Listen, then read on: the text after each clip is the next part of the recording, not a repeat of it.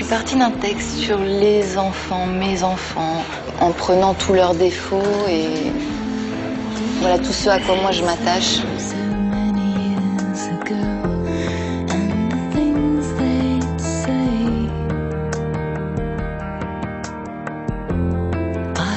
Dans cette chanson-là, je parle aussi bien de mes enfants que des enfants en général, de ma propre enfance.